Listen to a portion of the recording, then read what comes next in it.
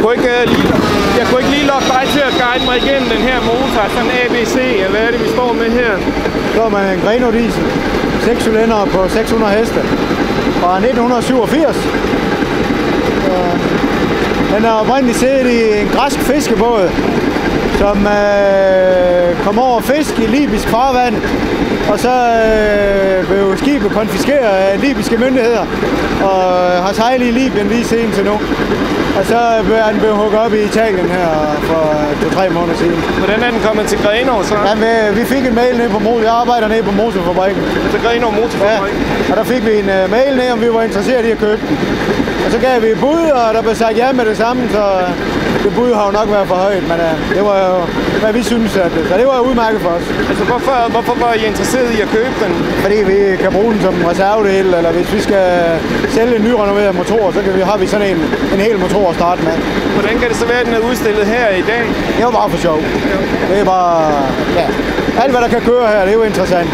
Så, og det passede lige med tiden at komme hjem, og så skiftede vi olie på og prøvede at se, om den kunne starte, og det kunne. Så tænkte vi, så tager vi den med herud. Det er en af jeres egne Det gamle. er vores egen, ja, ja. Jeg faktisk ikke engang var i lærer, der var jeg med til at bygge lige nok den her motor i 1987. Okay. Så Hvad laver du øh, mest af på motorfabrikken? Altså, hvad er dit job? ja, jeg er værkfører dernede for serviceafdelingen. Og, Er du startet i virksomheden, eller hvordan? Ja, jeg startede som øh, i lærer, som jeg er uddannet maskinarbejder dernede fra 86 til 90. Okay. Og så har jeg øh, rejst rundt som rejsemontør i over 20 år. Hvad hedder du? Niels Kors. Hvad sagde du? Niels Kors. Okay, tak skal du have. I orden. Hvor kommer du fra? Jamen, jeg kommer fra Visit Djursland og laver PR for, for Djursland simpelthen. Ja, okay. Og så er jeg interesseret i motorer. Ja, ja. Altså, den er jo ikke særlig køn, men, øh, Nej, nej. men den kan jo køre. Det er ikke det udvortes, det kommer ind på.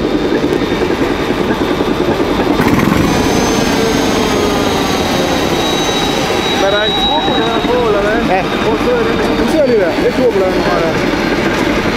Hvornår startede I med det så? Det gjorde vi vel i starten af 70'erne. De oprindelige 6 cylinder motor, den blev udviklet, jeg tror de først kom ud i 69. Og så i 70 eller 71, der byggede man sådan en turbolader på. Okay. Hvor meget giver det ekstra så altså? 170 heste. I forhold til, til I, forhold til de 330, så har den så 500. Så kan du så bygge intercooler på, det giver så yderligere 100.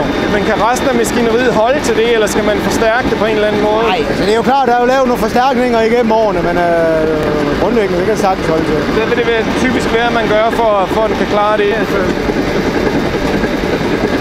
Så noget som blokken efterfølgende, der, der er den jo blevet forstærket. Øh, kraftigere gås, eller hvad? ja, og lave lidt om på støbningen.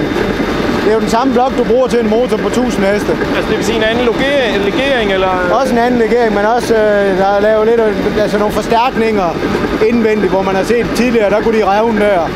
Og så har man lavet lidt om, så det øh, blandt andet, hvis der er et skarpt knæk, så bare du laver en runding på, så bliver det jo forstærket meget. Ja, ja. Er det noget, der sker i CAD-programmer, eller hvordan? Eller er det erfaringsbaseret, eller hvad? Ej, jeg tror ikke engang, det er fandt ud af det. Var der vist ikke noget, der hed cat. Nej. altså, computer-aided design. Ja, ja, men det gør man jo i dag. Der er alt det foregår jo på computer. Det var simpelthen erfaring. Man kunne se, hvor svaghederne var. Ja, ja. Det var de samme steder, de... øh, Så... Yes, jamen, jeg tager lige en tur rundt om den her. Men det er jo de samme, øh, det er jo de samme dele, der bliver brugt til en 1000 hestes maskine, som du har helt ned fra den der. Okay. Stempler, blejlstæng og topstykker, det er de samme, og cylinder og sådan. Det er det samme fra den der. Og Så helt øh, de samme moduler. Altså. Ja, ja. Det er jo nemt, at du skal lagerføre reservedele. Ja. Så... Men I producerer der ikke motorer, nye motorer Nej, ikke, stadigvæk? ikke, vi har ikke lavet nye motorer siden til Anholdt-færgen. Siden hvor... Anholdt, det var i 2003. Okay. Men vi leverer 2, 3, 4 renoveret, fabriksrenoveret motor om året. Okay. Sådan cirka gennemsnit. Tak skal du have. Det er orden. Lad os prøve at kigge lidt på nogle detaljer. Altså turboladen, den sidder heroppe. Den har jo så siddet i en, et, et græsk skib, sådan som jeg forstod det. Og skal enten bruges til øh, reservedele eller også øh, til renovering. Greno Diesel.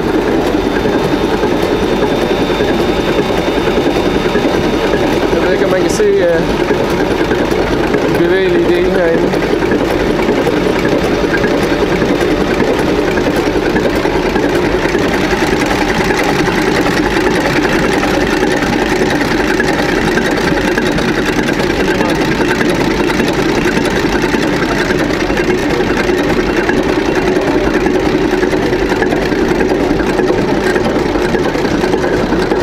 Der ikke er så stort på, som på de gamle motorer, når der er flere stempler, så er, det, øh, så er der ikke behov for den udligning, kunne jeg gætte mig til, at det, det handler om.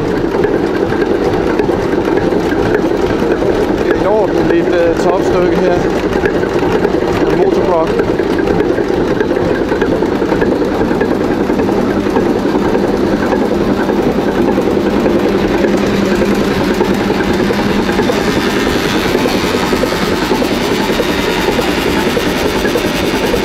Vildt, det kører på frivillige, så stor tak til, til et vognmandsfirma her.